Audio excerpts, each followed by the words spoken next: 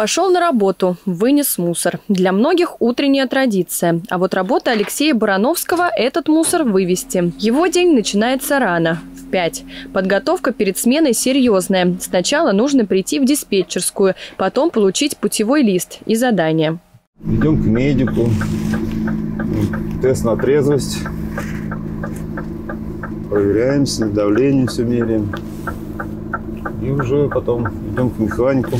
Такая рутина длится три года. До этого работал контролером в энергосбыте. Смену профессии объясняет уровнем заработной платы. У водителя мусоровоза он выше. Первое время на новом месте было тяжело, случались мелкие ДТП. Свой первый спецтранспорт вспоминает с улыбкой и ласково называет рогаточкой.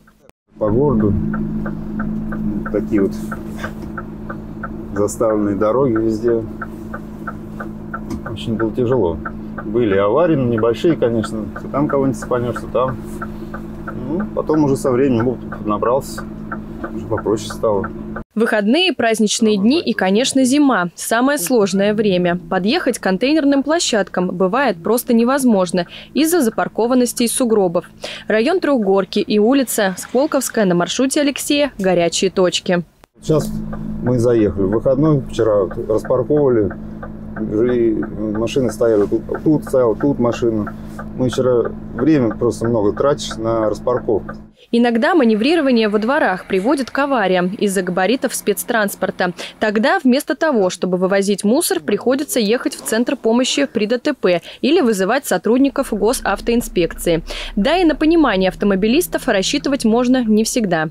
Ждали ГАИ, пока приедут они, чтобы ну, разобраться. Ну, человек просто пошел на принцип, загородил нам дорогу, мы выехать отсюда не могли.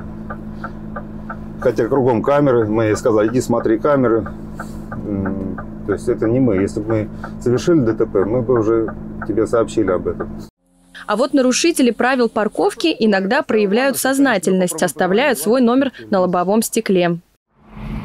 Алло, добрый день. Машину не могли бы убрать от мусорки? Эта автоледи после звонка спустилась только через 15 минут. По ее словам, припарковалась, потому что свободных мест во дворе больше не было. Для водителя мусоровоза такие простые и критичные. Решение проблемы, казалось бы, лежит на поверхности.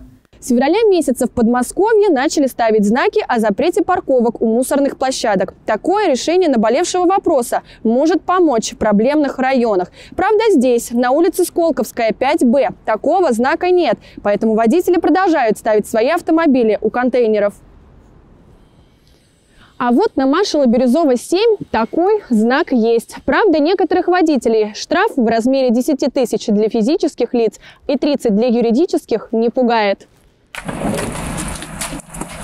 Это подтверждает водитель мусоровоза Дмитрий, один из самых молодых в коллективе. Ему 21, работает уже два года.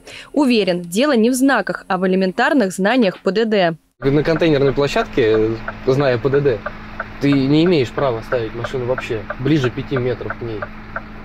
Это вот правилами дорожного движения все это прописано. Это не знаками, не чем-то еще. Это правила и дорожного движения написано, что там и стоянка, и остановка запрещена. Бирюзово, Северная, Жукова – улицы с тупиковыми проездами. Тут не то, что машину оставить иногда негде, даже уехать бывает невозможно. Тут есть подземный паркинг. Я как понимаю, он здесь платный. Поэтому в основном все машины здесь. И он двор этот тупиковый. Раньше сейчас хотя бы они знаки поставили, они как-то более-менее начали что-то осознавать. Они раньше ставили здесь по обоим сторонам дороги. И вот сейчас они вот тут, если утром сюда заехать, тут можно уже отсюда не уехать. По словам водителей, самое эффективное решение проблемы – перенос контейнеров из тупиковых проездов в более удобные места. Инициативу уже обсудили в администрации округа. Все изменения предварительно обсудят с жителями. После схода снега перемены станут заметны. Карина Юряшева, Денис Харламов, телекомпания «Одинцова».